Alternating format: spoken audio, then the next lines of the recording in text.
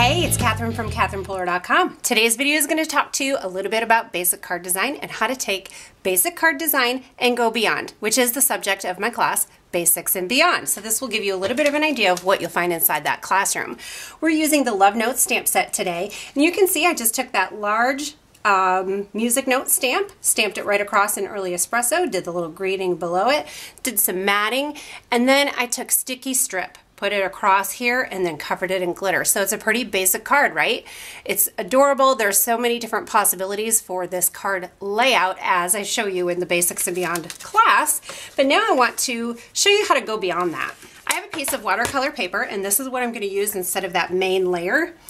I cut it originally this same size, but I'm going to cut off about three quarters of an inch on both sides. It's going to give us just a slightly smaller layer there. Next, I'm going to take this layer and I'm going to turn it sideways. I have my stamp all ready to go and I'm going to ink it with Versamark ink because I am going to heat emboss it. You want to take an embossing buddy. A few friends of mine told me it's time for a new emboss embossing buddy. This is what happens when your dog gets to it. uses it like a chew toy. Oh. Instead of just stamping it with an ink color like I did on the first one, I'm stamping this with Versamark and then I'm going to heat emboss it with black.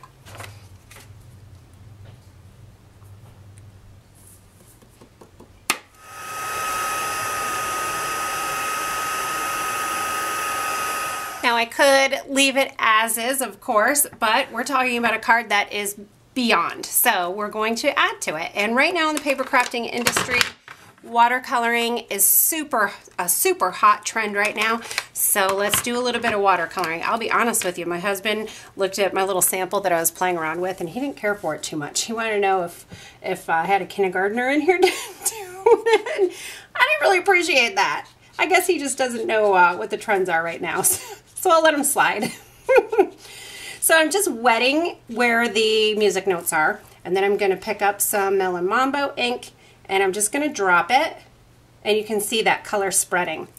Pretty cool. I'm going to wipe that off and then I'm going to go into this Bermuda Bay.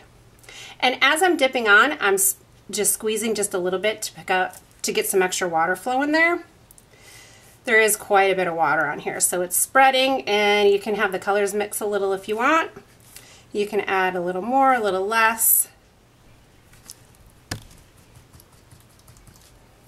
And actually I'm going to pick up some more blue and do it on the other side.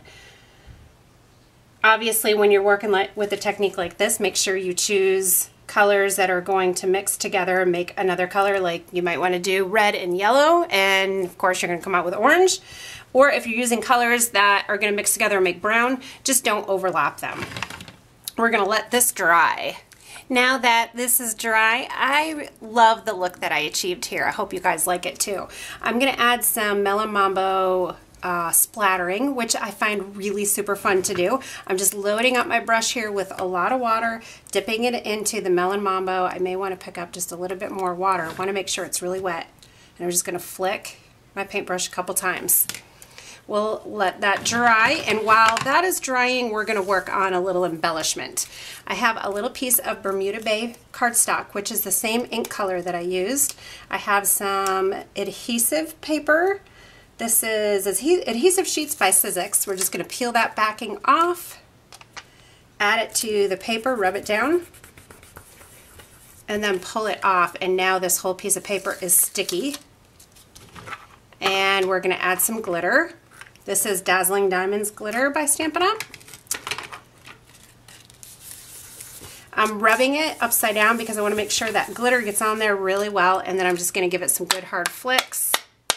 Get off that excess glitter. And then I have a little butterfly punch so we're going to have a really awesome, super duper sparkly butterfly to add to this project. Now when taking a card design and doing it beyond, I like to add a lot of layering because it really gives a designer touch to your projects. And because this is warped because it had a lot of water on it, I'm adding a lot of adhesive on the back. I just cut this black piece one eighth of an inch larger I'm going to turn it upside down and give it a good rub to hopefully flatten that paper out and get it nice and stuck down. So you can see how we've got the same kind of idea going on. The, the main stamped layer mounted, this one is smaller, so it's gonna give us some more design options. So I have my card base, I have a basic black layer, and then a piece of designer series paper. Uh, it's Coastal Cabana, which is just a couple shades lighter than that Bermuda Bay color. And we'll layer these together. Now we'll just pull in some dimensionals to pop up the stamped layer. And you can see how all of this layering just adds so much to the card. Now, of course, it's not necessary, but if you want to, like I say, go beyond, this is one way you can do that. Okay, so now what do we want to do? Definitely be adding this butterfly. And then I have this Celebrate word, which again is another hot trend right now. And I just cut it out of black and we'll add it to the front. It's Celebrate. I'm just adding a little bit of my two-way glue here.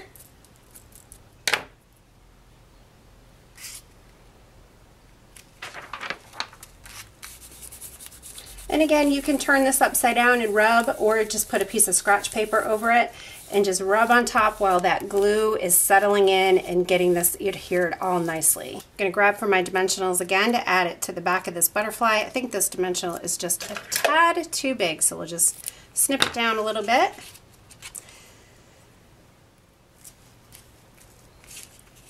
Pull the wings up a little. I hope you enjoyed this video tutorial and now you can see how easy it is to take a very basic card design and have some fun, add some elements, and go beyond. So if you're interested in learning more, be sure to visit catherinepooler.com. Make sure you're subscribed to my email newsletter list and hop on that Basics and Beyond class. You're going to learn a ton. There's lots of great samples in there. Eight eight or 10, I can't remember, video tutorials, sketches, the whole nine yards. It's a great class and I know you'll love it. So thanks for stopping by. Happy stamping and have a great day.